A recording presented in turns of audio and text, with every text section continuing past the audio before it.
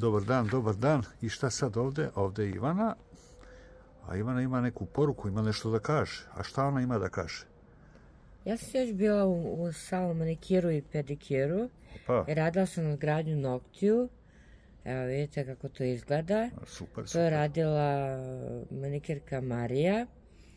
Mhm. Ove, a inače radila sam i depilaciju lica.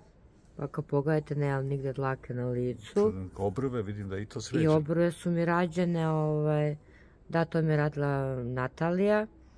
I ja to preporučujem samo kod Natalije i kod Marije. Znači, Natalija za obrove, a Natalija Marija... za obrve, a Marija za nokte. A, boga mi, boga mi, super. Super, super, lepo to izgleda, baš lepo, super. Odlično. Ništa. Znači, topla preporuka za Mariju i za Nataliju. Da, Dobro.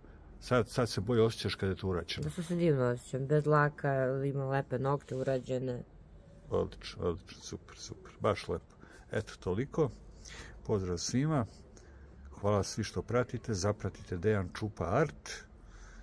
I šta da vam kažem, veliki, veliki pozdrav. Pozdrav svima, pozdrav svima od srca. Ćao, čao. Ćao!